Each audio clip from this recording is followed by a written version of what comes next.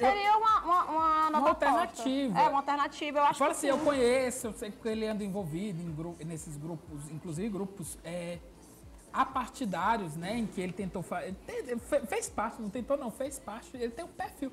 Ele tem um perfil parecido é, com a mistura de Trump com Barack Obama. É porque ele é empresário, É, ele é rico. Ele é rico, porém ele não tem a ignorância, eu tô falando intelectual do Trump, às vezes, assim, né? Até de dar resposta, de tratamento com a imprensa.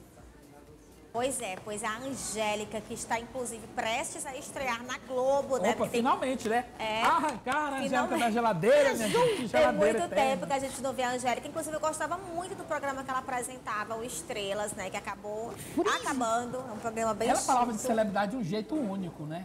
Verdade. Então ela está prestes a Olha. voltar aí para a Rede Globo, né?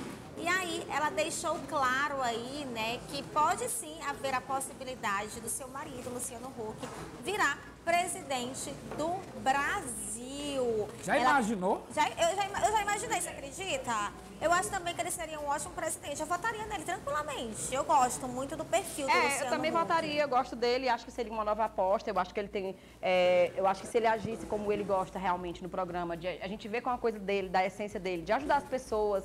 É, de, de fazer coisas assim que às vezes a gente até pensa, ah, isso é muito mirabolante, são coisas assim que não dá para ser feitas e ele acaba executando no próprio dentro de quadros no programa dele. Eu acho que seria bem vindouro. Justamente. Eu acho que ele acaba executando Eu acho assim, quadros né, do programa dele. Inclusive, a Angélica disse, ela deu uma entrevista né, para a Fábio Oliveira, do Jornal O Dia, e nessa entrevista ela acabou falando sobre toda a admiração que ela tem pelo marido, pelo Luciano Huck, e disse que essa questão aí da presidência e tudo não é uma questão de ego, é realmente porque ele gosta de ajudar as pessoas, assim como a gente vê que é o perfil dele dentro do programa. É. Né, Exato. os quadros Eu que é uma sociais A e galera tudo. faz piada assim, mas ele é uma pessoa É muito séria, né? louvável. Eu te vou falar uma coisa. Eu acho assim, é minha opinião.